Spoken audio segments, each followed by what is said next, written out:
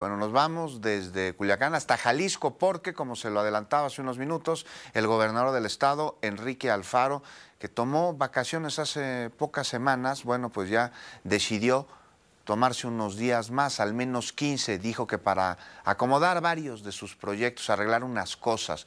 Irán Espinosa Los Monteros, me enlazo contigo hasta Jalisco. Muy buenos días. ¿Quién queda encargado de despacho? Estimado Juan, ¿cómo estás? Muy buenos días. Pues mira, lo que marca la ley es que quede el secretario general de gobierno, es decir, Enrique Ibarra Pedrosa, quien podríamos considerar, por cierto, en Jalisco como el eh, formador de Enrique Alfaro, ¿no? El consejero principal, un, hombre de enorme confianza de el gobernador y pues bueno, sí, esto se daba a conocer de ayer, subía un video Enrique Alfaro a sus redes sociales donde daba a conocer eh, pues que tomarían una licencia. A ver, eh, ¿Sí? Sorpresivo no, pero digamos que eh, sí, en este justo instante, cuando pues está enfilando ya al final de su gobierno. Escuchamos, ¿te parece parte de lo que... Sí, vamos a escuchar. Son 25 años ininterrumpidos en esta actividad y evidentemente el poder replantearte tu proyecto de vida, tu proyecto profesional, tu proyecto personal, no es un asunto menor. Por eso eh, necesito unos días para acomodar muchas cosas de cara al final del gobierno. Necesito reorganizar temas eh, para actividades que voy a realizar en lo profesional, en lo académico y por supuesto reorganizar mi vida personal. Y he tomado la decisión de pedir 15 días de licencia para poder concentrarme en estos temas que también para mí son importantes.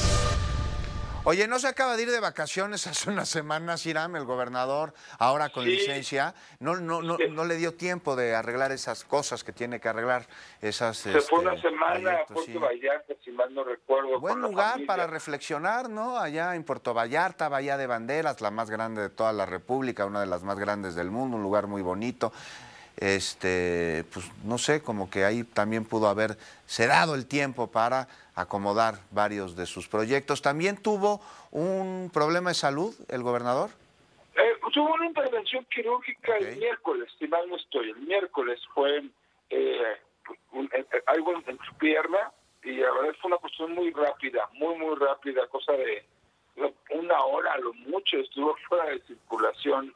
Bueno, el asunto es que, a ver, cuando mencionaba yo hace un momento que si era sorpresivo y, decía yo que no, es que hay que recordar, Juan, que, que viene hablando de un retiro de la política desde el año pasado, mes de agosto, si no recuerdo cuando charlaba con él, entrevistábamos pues, eh, anunciaba esto a partir, bueno, después de aquel video, recordarás tú, en el que decía que no estaría participando en las elecciones de este año, no como candidato, no por parte de MC, y bueno, hacía allí una reflexión respecto al rumbo que estaba tomando el partido, pues aludiendo efectivamente delante Delgado, y lo que ha dicho una y otra vez a partir justo de aquel, aquel primer video y aquellas entrevistas que daban el año pasado, es que él se quiere dedicar al fútbol, él se quiere dedicar a ser director técnico de algún... Eh,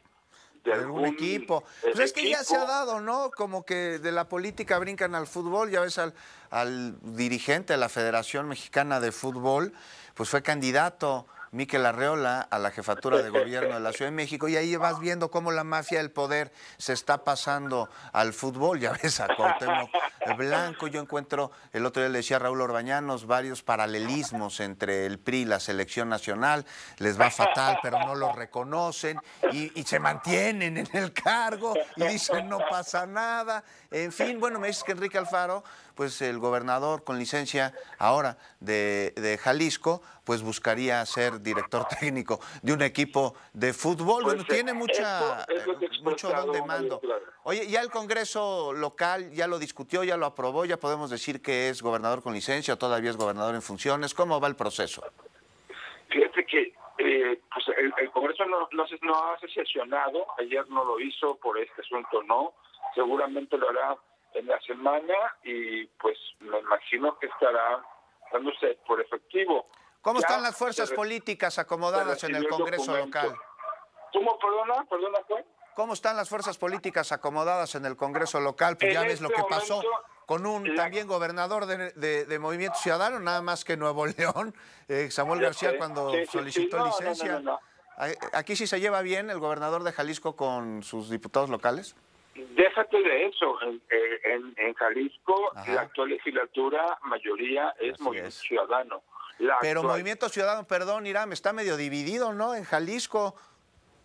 Ah, pero no, no, no, en este tipo de, cuestiones eh, hay disciplina partidista, ¿eh? o sea, no, no, no, no, se podría pensar que van a hacerse la difícil en el permiso. Y si te refieres a la división que podría existir a partir justo de la llegada de Pablo Lemos Navarro, bueno, ahora ya... Desde antes, ¿no? Desde que nombraron candidato a Maines, ya como que en Jalisco y Movimiento Ciudadano hubo ahí como un conflicto, ¿no?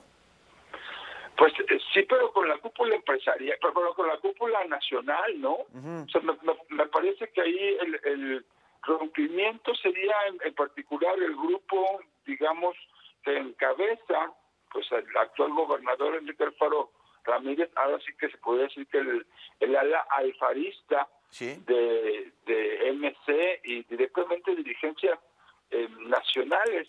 Pero te, te reitero que, a ver, no vimos en las pasadas elecciones un partido más disciplinado en el estado de Jalisco, me refiero, que MC. ¿eh? Sí, sí, eso, disciplina. puedo decir a partir incluso de cómo se eligió a, eh, al candidato. A. Que, pues terminó siendo efectivamente Pablo Lemos, luego de un proceso interno en el que de verdad pues como periodista buscabas por un lado, buscabas por el otro aquella declaración que pudiera, eh, pues ya sabes, ¿no? En tiempos electorales, eh, darte una guía, una línea de hacia dónde iban las cosas y siempre, todo el tiempo, el discurso de los cuatro en aquel momento precandidatos era estamos hablando, estamos hablando, estamos hablando, evidentemente para llegar a los acuerdos de incluso de haber cuando llegue al poder, ¿qué, ¿qué, va a pasar conmigo? ¿no? O sea, tú vas a hacer esto, tú vas a, a, manobrar estas cosas, lo que incluso, te puedo también decir, en este justo instante está pasando. ¿eh? Pues estaremos pendientes, pero sí, ahí está. O sea, el conflicto que hubo cuando Maines es nombrado candidato de Movimiento Ciudadano en Jalisco fue hacia la dirigencia nacional, pero hubo unidad al interior de las fuerzas políticas emesistas en el estado de Jalisco. Pide licencia el gobernador. Eh, estaremos pendientes del proceso que se llevará a cabo en el Congreso local para que se le eh, autorice, se le otorgue esta licencia.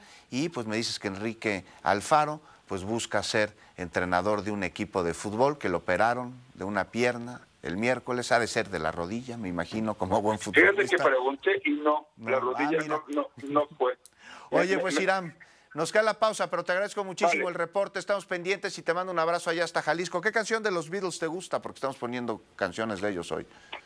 Eh, Hard Day's Night. Ahí está, esa la ponemos más adelante. Nos vamos a una pausa. Nuestro teléfono en cabina 55 52 79 22 91. Nuestro chat de WhatsApp es el 56 11 78 68 28. Nos vamos a una pausa.